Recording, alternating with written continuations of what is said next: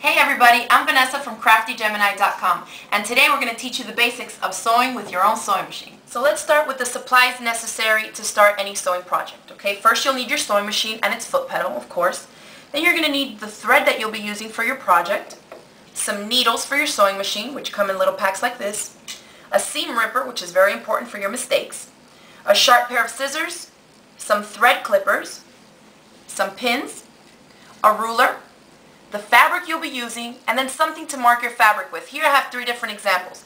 This is a chalk pencil. This is a chalk dispenser which has a wheel, and as the wheel turns the chalk comes out. And then you also have a disappearing ink marker. Okay, so these are all the basic things we need to get started with our first sewing project. So once you have your basic sewing supplies, next step is to set up your sewing machine. Okay, first thing we're going to do is wind our bobbin. Here you see a plastic bobbin and here's a metal one. Depending on your sewing machine, there'll be different types of bobbins and then also different sizes.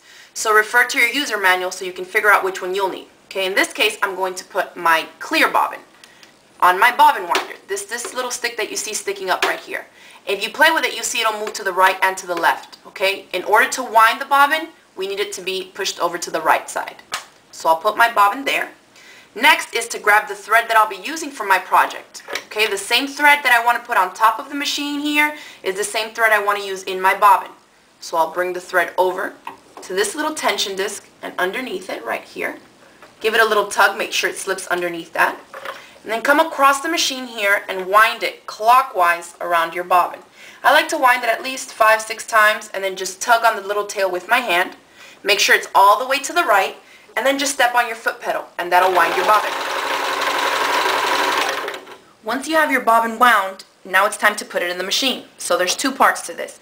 The actual bobbin with the thread that we just wound and the bobbin case. Okay, turn the case over and insert the bobbin. It falls right into place. Now I want the thread coming off clockwise until I reach that little tiny notch you see right there.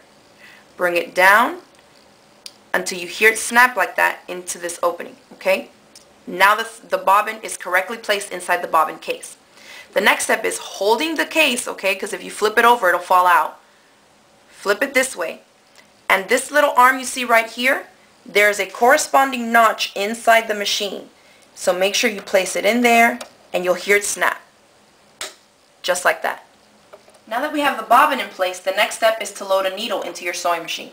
Needles come in different packets like this, and for beginners, I generally like to have you start with a universal needle. This particular packet covers three different sizes, 70-10s, 80-12s, and 90-14s. The size of the needle corresponds to the weight of the fabric, so the higher the number, the thicker the fabric. In this case, we'll just be starting off with the general 80-12 needle.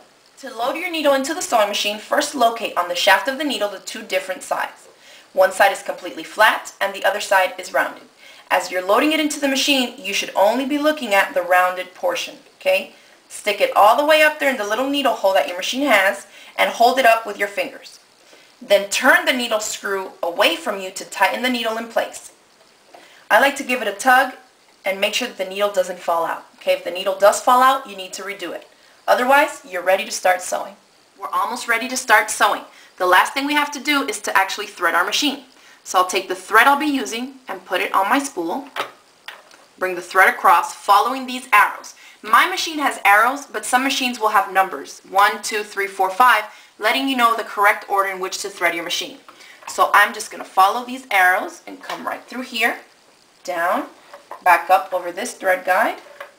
And right above my needle, there's also a small thread guide that most machines have, and this allows the thread to flow smoothly through your needle hole. In order to get it through my needle hole, I like to cut my thread at an angle, and that makes the thread a little slimmer so it can fit through easier.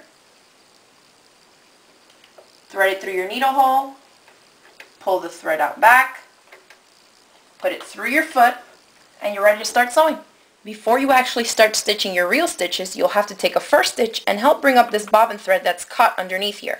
You need it to be coming out from in between this little center hole right here underneath your presser foot. To do that, I like to pull on the top thread, turn the hand wheel towards me to take a stitch, and as the needle comes back up, I'll tug at this top thread until the bobbin thread comes up. When the bobbin thread comes up, I'll take something pointy like my seam ripper, put it in there, and pull that thread back out. Now that I have both threads up top, put them towards the back of your machine and you're ready to start working on your first project. Before you work on your first project, you want to practice a little on some scrap fabric, okay? What I recommend you do is to cut a straight edge on your fabric and use your, your presser foot and the edge of it as a guide, okay?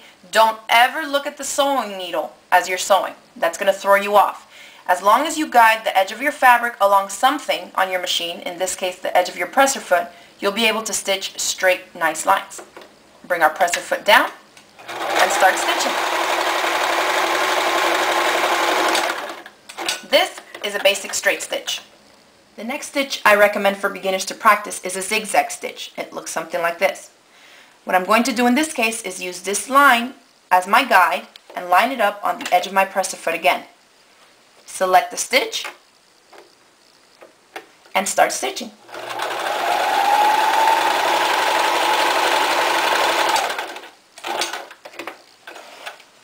And there's your zigzag stitch.